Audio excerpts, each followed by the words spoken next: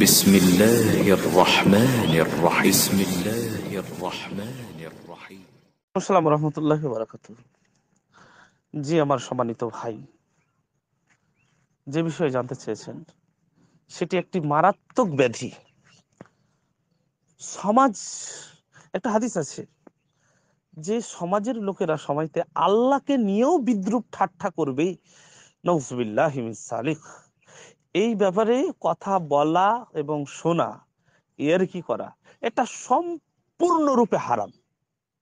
কোনো অবস্থাতেই এই সব কথা নিয়ে আলোচনা করা যাবে না।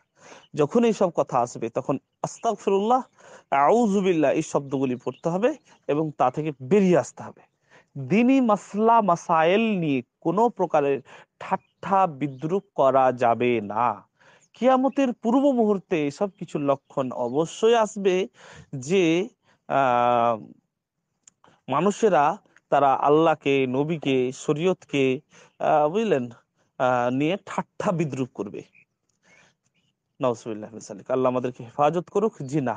এটা মোটেও ঠিক না, এটা আদৌ ঠিক না, এটা আদবের খেলাফ খেলাফ, আল্লাহ রসুলের খেলাফ।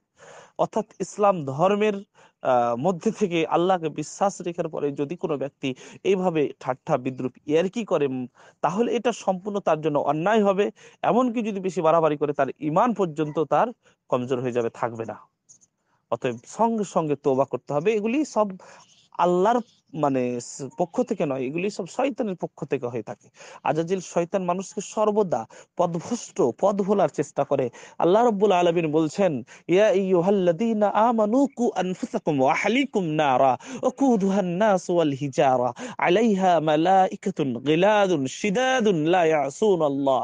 আল্লাহ বলছেন, এ ব্যক্তি তোমরা, আহ তোমরা বাঁচো এবং তোমাদের পরিবারবর্গকে বাঁচাও।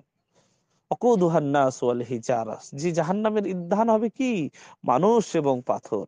অতএব ভাইজান, এইসব ঠাট্টা বিদ্রুপ থেকে আপনি বাঁচেন, আপনার পরিবারকে বাঁচান, আপনার ভাইকে বাঁচান। কেননা, ইন্না শৈতান আলাকুম আদু মুবিন। শয়তান হচ্ছে মানুষের প্রকাশ্য শত্রু।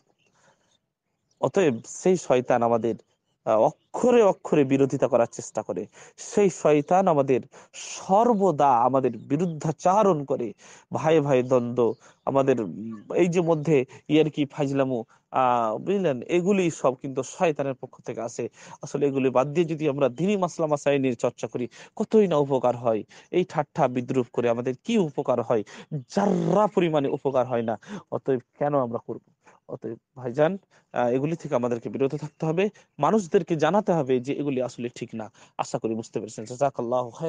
ও আসসালামু আলাইকুম।